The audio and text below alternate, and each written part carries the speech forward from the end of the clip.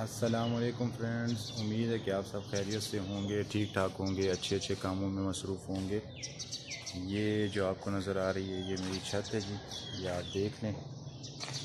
آج آپ کو چھت کا وزٹ کرواتے ہیں۔ یہ چھت ہے، ٹھیک ہے۔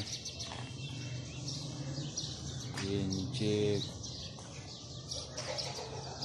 نیچے کی طرف جگہ ہے جس میں پنجرا پڑا ہوا ہے۔ پھر اس کے بعد جو ہے تو یہ ہماری چھوٹی سی لیبارٹری ہے۔ یہ آپ دیکھ لیں جی۔ یہ لیبارٹری ہے جس میں ہم نے پنجرے بنائے ہوئے ہیں۔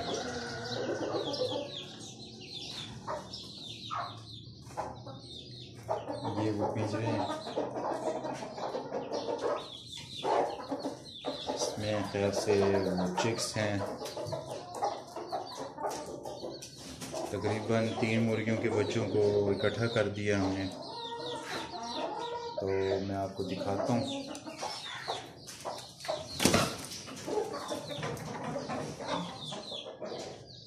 جی دیکھیے جناب۔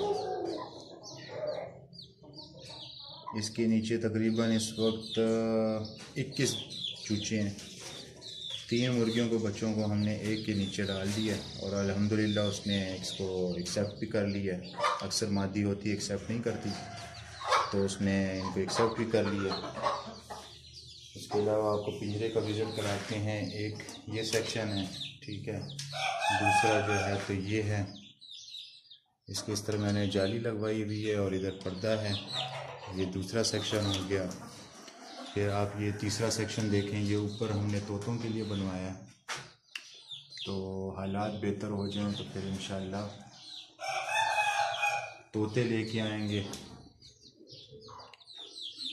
یہ جناب، یہ چھوٹا پنجرا ہے۔ یہ آپ دیکھیں، یہ چھوٹا خانہ ہے۔ یہ آپ میرے لینتھ ہاتھ کی لینتھ کو دیکھ لیں۔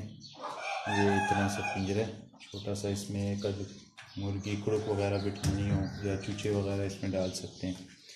جیسے ابھی اس مرغی کو، دیسی مرغی کو اب ہم کڑک کرنے کی کوشش کریں گے، تو پھر آپ کو بتائیں گے، کیونکہ میرے پاس ہیرا کے انڈے جمع ہو گئے ہیں، بہت سارے آٹھ نو انڈے جمع ہو گئے ہیں، تو میں کہہ رہا ہوں یہ جب تک کڑک ہو جائے گی۔ اچھا اس کے بعد یہ جو ہے تو یہ لمبی کالونی ہے نیچے، یہ آپ دیکھ لیں، یہ لمبی کالونی ہے۔ خیال میں اس میں ہم دس ایک مرغیاں تو بآسانی رکھ سکتے ہیں۔ تو یہ نیچے ہم نے جو ہے دو چوکا لگایا دو اینٹیں لگا کے اس کے اوپر ہم نے پھر مٹی ڈالی ہوئی ہے۔ اس سے یہ ہے کہ بیماری وغیرہ نہیں ہوتی۔ تو اس کے پھر میرے پیچھے آپ دیکھ سکتے ہیں کہ پنجرے ہیں۔ اور اس کے علاوہ یہ دیکھ لیں، یہ جو چوچے میں نے لیے تھے، اس میں سے ایک مر گیا ہے۔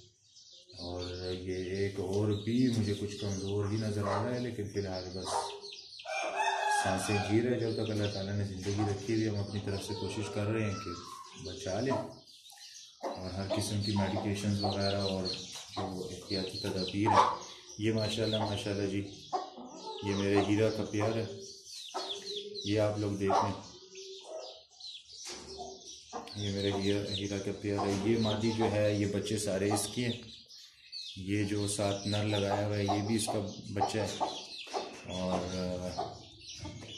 اس کے ساتھ جو ہے تو ایک نر اور ہے دو میں نے آپ کو بتایا تھا کہ میں سیل کر چکا ہوں۔ یہ دو انڈے آج فریش ہیں۔ اور یہ جو ہیرا کے انڈے میں نے جمع کیے ہیں، تو میں چاہ رہا ہوں کہ اس سے رزلٹ لے کے پتہ چل جائے کہ آگے کیسی نسل اس کی آ رہی ہے، کون سے کلر کی آ رہی ہے، کیونکہ مجھے پیور وائٹ میں نسل کو آگے بڑھانا ہے اور اسی پہ میں کام کر رہا ہوں۔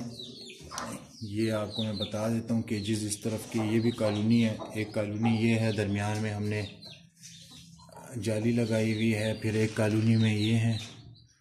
پھر اس کے علاوہ جو یہ اوپر کی کالونی ہے، یہ کافی بڑی بن گئی ہے۔ تو اس کے بیچ میں تو یہاں پہ اگر ضرورت پڑی تو یہاں پہ ہم جالی لگا سکتے ہیں۔ ویسے یہ یہاں سے لے کے تو میں آپ کو بتا رہا ہوں۔ یہ یہاں تک۔ ٹھیک ہے جی۔ اس کے علاوہ ایک آپ کو اوپر پنجرا نظر آئے گا یہاں بھی پنجرا نظر آئے گا۔ تو یہ وقت کے ساتھ ساتھ لاتے رہیں۔ ضرورت کے مطابق استعمال ہو جاتے ہیں۔ جہاں پہ ضرورت ہوتی ہے، وہاں پہ اس کو استعمال کر لیتے ہیں۔ تو بس آج یہ چھوٹی سی ویڈیو تھی آپ لوگوں سے۔